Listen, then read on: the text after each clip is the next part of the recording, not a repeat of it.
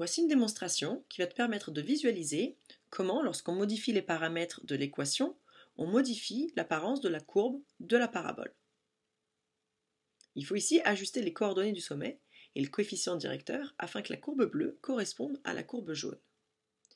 par exemple, si on soustrait ou si on ajoute quelque chose de y, cela va déplacer la parabole selon l'axe des ordonnées. Donc on peut le vérifier. Plus j'ajoute, et plus la courbe se déplace vers le bas. Si je soustrais, elle remonte. Donc la position qui nous convient, c'est ici, y est égal à moins 3, qui coïncide avec le sommet de la courbe jaune. De la même manière, si on soustrait de x, la courbe va se déplacer vers la droite, et si on ajoute, elle va se déplacer vers la gauche. Vérifions. Ici, je soustrais, ma courbe se déplace vers la droite, et si j'ajoute, la courbe revient vers la gauche. Simplement en jouant sur ces deux paramètres, j'ai réussi à obtenir que les sommets de ces courbes coïncident.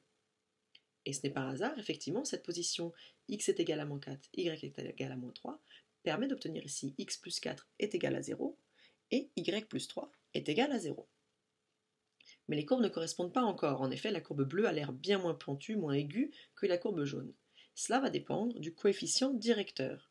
Donc essayons de le modifier, c'est ce facteur devant x plus 4 au carré. Si je l'augmente, voilà, c'était le 2 qui convenait. Plus je vais augmenter, plus la courbe va être aiguë.